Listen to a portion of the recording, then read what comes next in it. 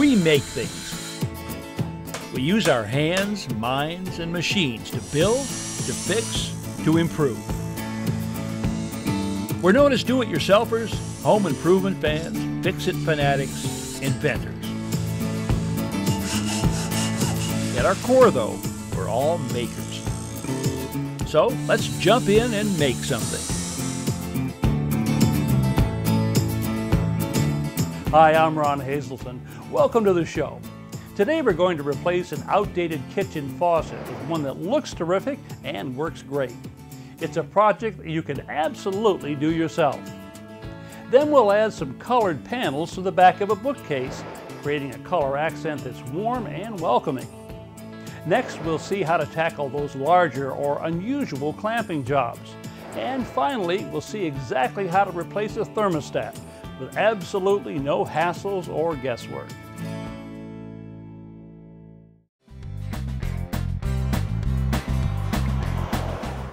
Well, this is going to be a short crosstown trip. I'm going to be visiting a friend of mine right here in Fairfield, Connecticut, Peter Featherston.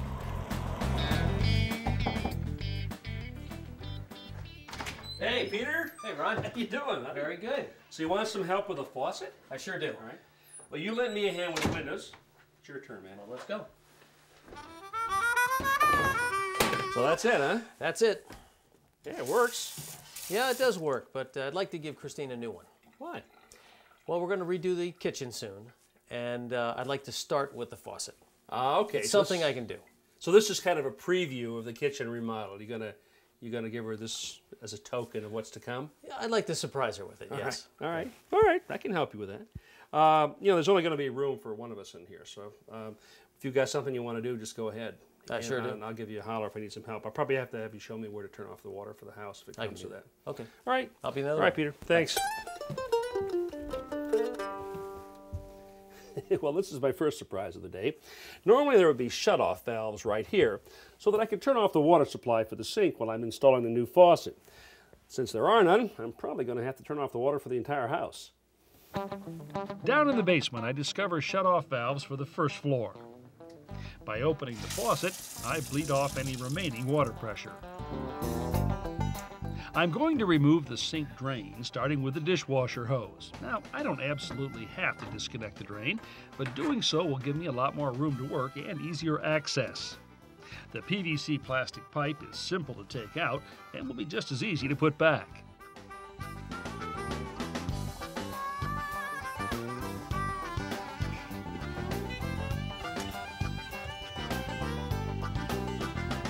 Next, I cut the copper water lines where they come out of the wall so that I can detach the lines from the faucet. Here, too, is where I'll install the shutoff valves so that from now on, the sink water supply can be turned off without affecting the rest of the house. Okay. My next step is to unscrew those water lines that I just cut from the faucet.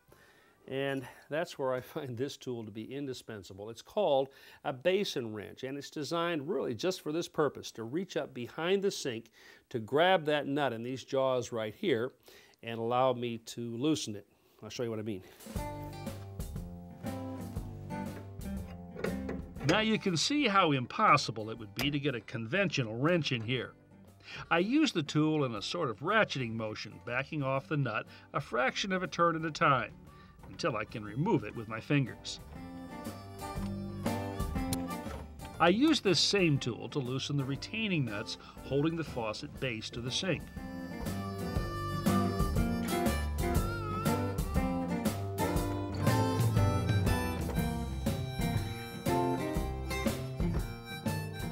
Finally, with everything free, I can lift out the old faucet.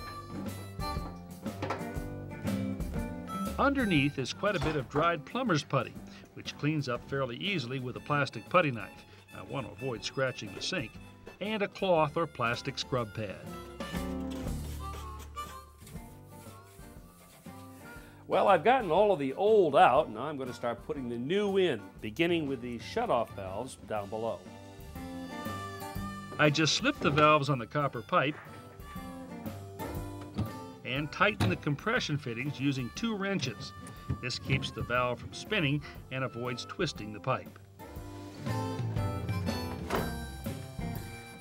The first step in installing the new fixture is to place a rubber O-ring on the faucet base. Then insert the lower end of the faucet through the sinkhole. Underneath, I slip on a mounting plate and washer, followed by a retaining nut. This plastic socket wrench comes with the fixture. To get the leverage I need, I insert a screwdriver to use as a handle.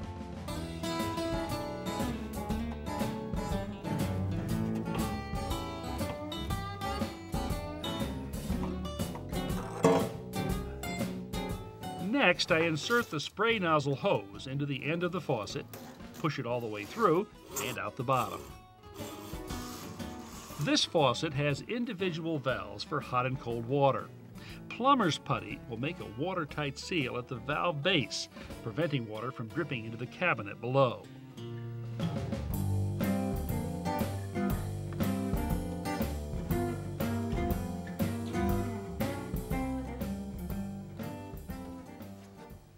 I'm ready to put in the valves. Now, if this sink weren't already installed in the countertop, I could do this myself. But because it is already in place, I'm going to need some help. All right, so just uh, go underneath and shove this up through the hole there for the valve, would you? It will do. Yeah, and I'll get it when it comes through the top here. Great. Hold it there.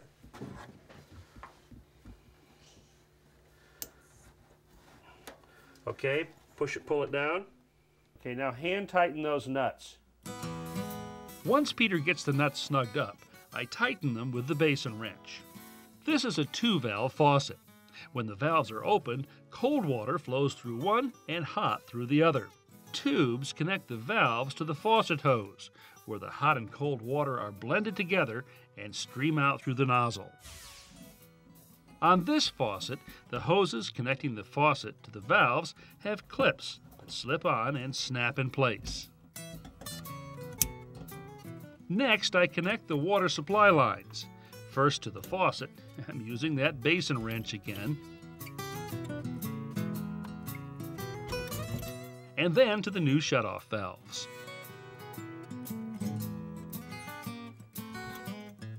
Then I place the valve handles and trim on top of the valve body and screw them in place.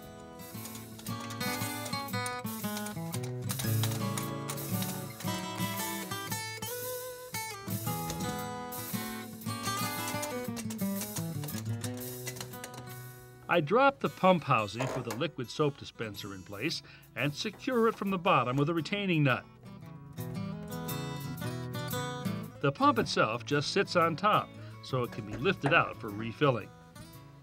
With all the water supply lines connected, I can begin replacing the drain.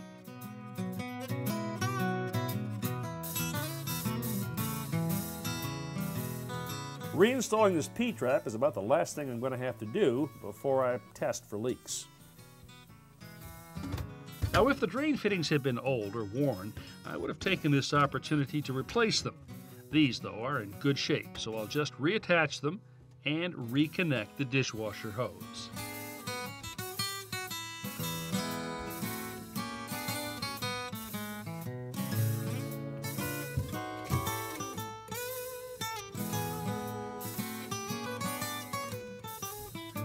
Well, everything's done, so I can turn on the water and see if I've got any leaks.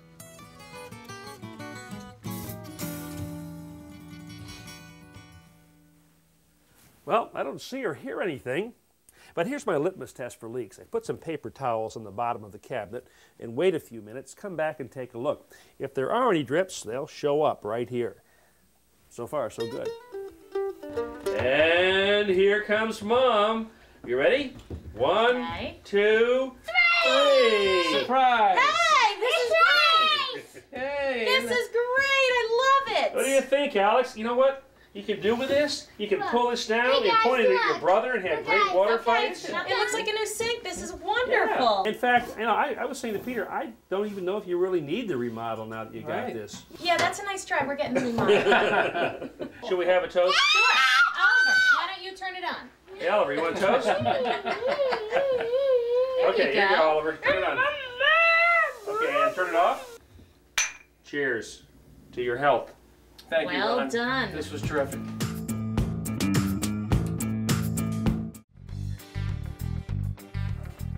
I recently finished building my bookcase here, and when I painted the back, well, I made it the same color as the front and the sides, which is what I normally do. But my wife Lynn was looking through a magazine and she saw a bookcase very similar to this with the back painted an accent color. And we thought, you know what? That could look really good in this room. Lynn and I love this lamp, and we love this color green. We thought it would look great, possibly, as an accent color on the bookcase. The question was, though, what shade of green? Well, there's plenty of natural green around this part of the country for inspiration, and I get to take it in every time I head over to the Home Improvement Center.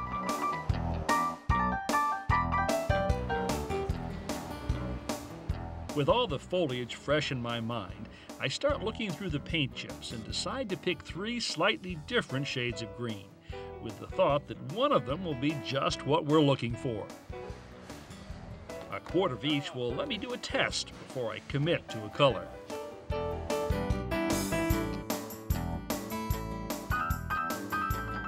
Back at the shop, I paint three sample panels, let them dry, then take them inside.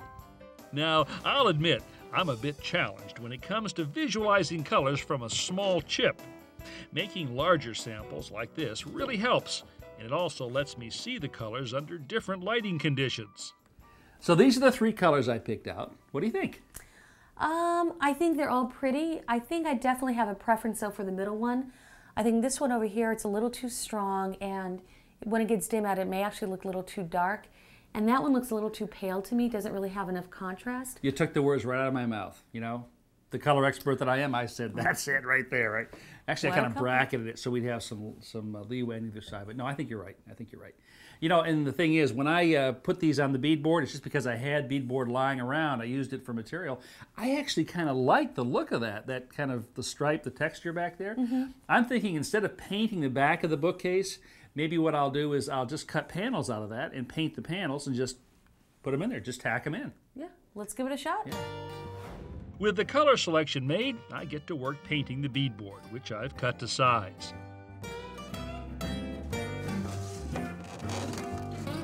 To attach the panels, I'm using just a few small brads, nailing mostly around the edges. This way, I have fewer nail holes to fill and an easier time removing the panels if later on I want to go for a different look.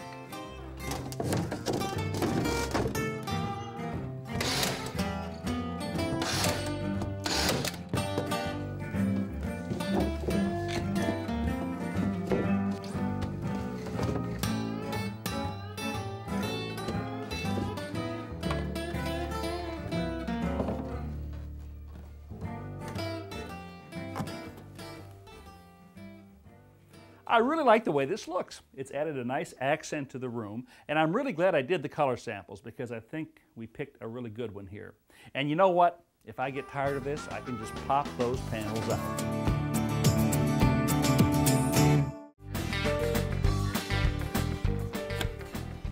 Installing a programmable thermostat can cut your energy costs by up to 33%. It's easy to do with a few simple steps. First, remove the decorative cover or trim piece from the existing thermostat. Underneath, you'll find mounting screws. Remove these and the thermostat mechanism. Most thermostats have four or five wires connected to terminals that are labeled. Next, remove the mounting screws from the base and pull it away from the wall.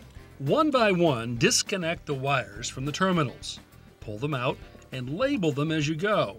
I made these labels with a computer printer and sprayed the back with contact cement. Now, what's important here is to make sure the labels match the lettering on the terminals. They have nothing to do with the wire colors. Place the new base in position on the wall and mark the location of the mounting holes. Drill the holes, insert plastic anchors, tap them into place, and mount the base plate. This thermostat has a printed wiring diagram. Remember those labels? Well, all you have to do now is attach the wires to the corresponding terminals. No guesswork, no trial and error. Finally, snap on the cover and you're finished. For a sleeker look, consider this flush-mounted thermostat. To install it, trace the inside of this template that's included with the thermostat. Cut out the marked opening using a wallboard saw and set the recessed housing in place. As you begin tightening the screws on the front of the housing, these wings flip out on the back side of the wall. Continued tightening pulls the wings snugly against the surface, holding the box securely in place. Then connect the labeled wires to the corresponding terminals, slip the thermostat into the housing, and snap it in place. Rather than protruding, this recessed model sits nearly flush with the surrounding wall. Greater comfort, lower energy bills. That's a lot of benefit in such a small package. Now, some say you can never have too many clamps, and I guess if you look around my shop, you'd say I'm living proof of that. But despite the fact that I've got dozens of these, sometimes I still don't have just the right one. That's when it's time to do some creative clamping. Now, here's a good example. Let's say I have a piece of loose veneer right in the center of a panel like this. Now, even these clamps won't come close to reaching that point. So, here's a solution. I take a small block of wood, place it right on the loose veneer, on top of that, I put a strip of wood that's long enough to reach to the edge of the panels. Then I drop one clamp over here and a second over here. And as I tighten this up, I'm applying pressure exactly where I want it. Example two. Let's say that I want to clamp these two boards together, but the biggest clamp I've got is not long enough to reach across them. Well, here's the solution. Take the first clamp, lay it on the board, take a second clamp, and interlock it with the first. Now, what I've done is turn two short clamps into one longer one. Now, sometimes one of the most challenging clamping jobs is holding something vertical while you work on it. Well, here's one thing that works pretty well. Take a sliding C-clamp like this and clamp it near the bottom on both ends. Then clamp the clamps to the tabletop or workbench.